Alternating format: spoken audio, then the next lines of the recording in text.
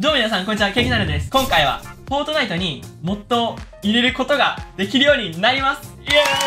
ーイまあ、どういうことかっていうと、これっすね。12月16日午前4時にクリエイティブ2.0の発表が行われる。まあ、クリエイティブ2.0を知らない人のために説明すると、えクリエイティブ2.0は、これですね。2023年1月下旬にリリースされる、まあ、クリエイティブの拡張版っていうか、まあ、なんならマイクラのモッドっすね。マイクラでいうモッドがフォートナイトの中で作れるっていうことなんですよ。え、クリエイティブ2.0っていうのは、まあ、ブレンダーっていう、まあ、これですね、ブレンダーっていう、まあ、ソフトがあるんですけど、まあ、ここで、まあ、いろんなモデルが作れるんですよ。まあ、こうやって大きさとか変更したりして。いろんなモデルが作れて、まあ、これを極めたら、まあ、こういうゴムゴムの実やったりとか、架空のアイテムっていうのが作れるんですけど、まあ、これでモデルを作成して、これですね。ここにクリエイティブ2.0に取り込んで、このクリエイティブ2.0の中で、プログラミングをして、まあ、モデルに、ま効果みたいなのをつける。フォートナイト内でもうモッドが作れる時が来るんですよ。そのモッドを作れるクリエイティブ2.0がリリースされるのが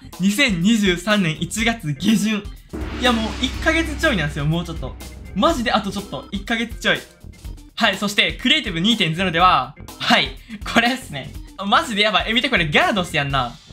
これ、ハイペックスっていうめっちゃ有名なリーカー、フォロワー250万人いるリーカーの画像なんですけど、はい。ラプラス。ポケモンやんな、これ。ポケモン、ポケモンやん。そう、やから、クリエイティブ2.0が来たら、もうポケモンモッドとか、もうワンピースモッドとか、マジでフォートナイト、普通のフォートナイトではできへんようなことが、クリエイティブ2.0ではもう可能になるんですよ。で、やっぱりプログラミングって聞いたら、めっちゃ難しいイメージあると思うんですけど、まあ、クリエイティブ2.0は、見てください、これ。クリエイティブ2.0用にプロセスを簡素化、効率化するために新しいプログラミング言語も開発されている。バースっていう名前の言語なんですけど、また現段階ではあんまり分かってないんで、クリエイティブ2.0が発表される12月16日午前4時。マジでこの日、マジでこの日で、フォートナイト界隈の歴史が変わると言っても過言ではない。